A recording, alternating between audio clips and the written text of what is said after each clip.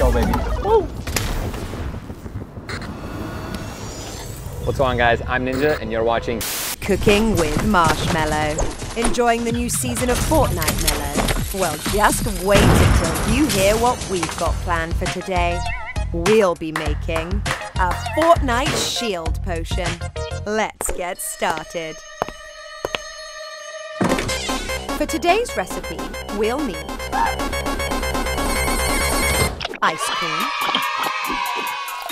milk, lemon, orange and cherry flavouring, blue food dye, heavy whipping cream, sugar and vanilla extract.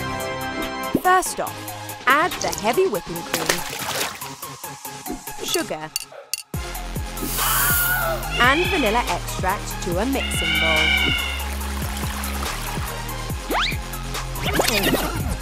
Whisk slowly at first and gradually increase the speed.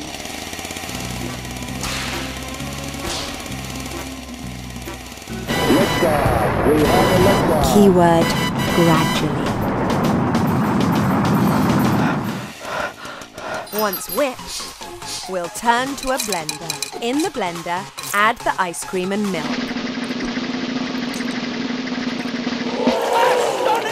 Next, add the lemon, orange,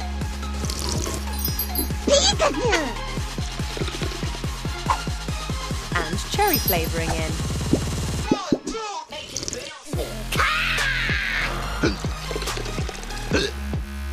I promise they'll taste better with the ice cream, Mello. Add the blue food dye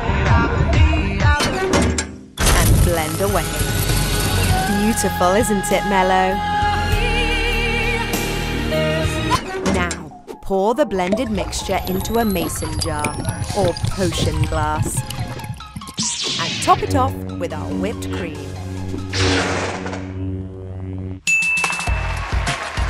And pow! You've got your very own milkshake.